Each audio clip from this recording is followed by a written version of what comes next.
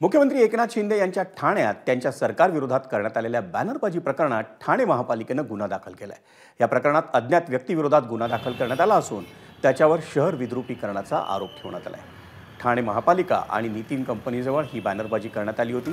हे बॅनर नंतर काढून टाकण्यात आले.